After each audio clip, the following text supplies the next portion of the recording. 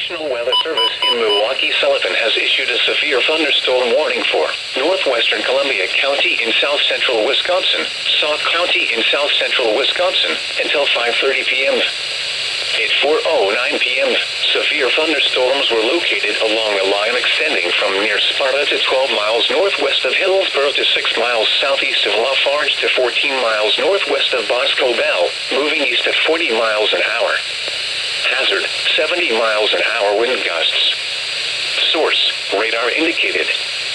Impact, expects considerable tree damage. Damage is likely to mobile homes, roofs, and outbuildings. Locations impacted include Baraboo, Reedsburg, Wisconsin Dells, Lake Delton, Spring Green, West Baraboo, Plain, Bluffview, North Freedom, Long Vale, Rock Springs, Loganville, Ironton, Lime Ridge, Devils Lake St. Park, and Hill Point. People attending Bulls and Barrels in La Valle should seek safe shelter immediately. This includes the following locations Mirror Lake State Park and Kilbourn Dam. For your protection, move to an interior room on the lowest floor of a building. Torrential rainfall is occurring with these storms and may lead to flash flooding. Do not drive your vehicle through flooded roadways.